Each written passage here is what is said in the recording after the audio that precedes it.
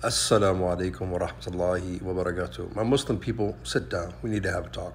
No doubt that you know about all of the oppression that has happened to us, is happening to us, and will happen to us in the future. I'm not going to say where or when or how or who because you know the video will just be taken down.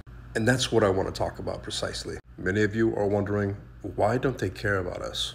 Why don't they see our struggles and our oppression? Why can't we even explain and display to the whole world what is going on with the oppression in the Muslim lands and our videos get taken down? Where is the outcry from the world? Where is the international community? Where is it? And then it is said by many Muslims, well, if it was that group, it wouldn't happen. If I were this group, it wouldn't happen. And the, the same statement is just regurgitated all throughout the internet. There's a lot of Muslims out there that just don't understand. And on the surface, it doesn't seem fair.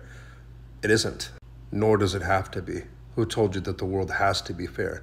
It doesn't. We are told in the book of Allah subhanahu wa ta'ala to hold on to the rope of Allah, all of us together. It does appear on the surface that we as a Muslim people are all on our own. But I want to remind you of something that you probably already know.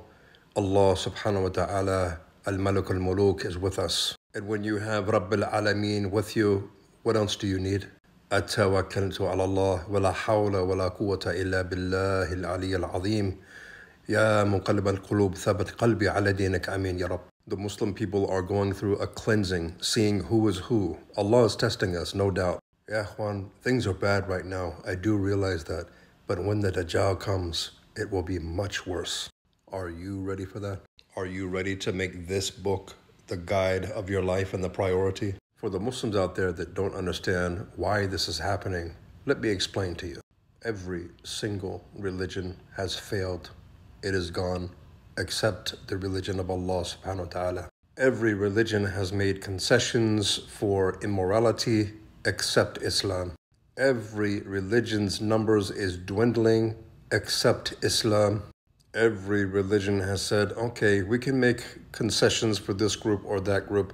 Yeah, we can let that in and this in, except Islam. Islam says, no, unwaveringly, no, this is the Quran and the Sunnah, and we will stay by it no matter what you think or how you feel. And for those reasons, Islam is seen as a threat, but it is a medicine to the entire planet. But the powers that be do not want medicine. They want people to be sick and to remain sick so that they may rule them. There's no doubt is a plot from Iblis against all of the sons of Adam. Hold tight, ikhwan, to the rope of Allah subhanahu wa ta'ala, all of us. Assalamu alaikum.